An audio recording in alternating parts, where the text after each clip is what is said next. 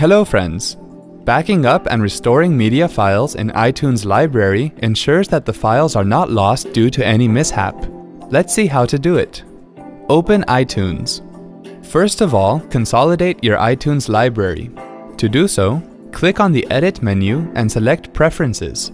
Click Advanced panel. Now select the checkboxes next to Keep iTunes Media folder organized and copy files to iTunes Media folder when adding to library options, and then click OK. Click on the File menu and then click Library. Click Organize Library and in the Organized Library window, select the checkbox next to Consolidate Files, then click OK. Now copy the iTunes folder to the external hard drive.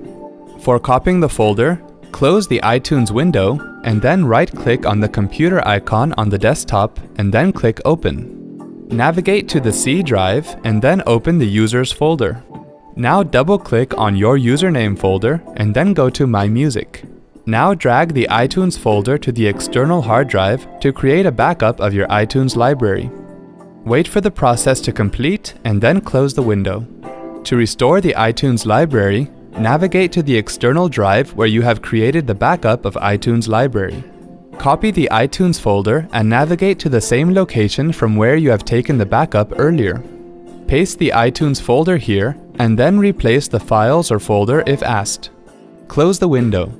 Now press and hold the Shift key and right-click on iTunes icon on the desktop and then click Open. It will ask you to choose the library, then click Choose Library. Browse the location where you have restored the iTunes folder and select the library. Click Open and you will see that the library has been restored in iTunes. See, this wasn't hard at all. Thanks for watching.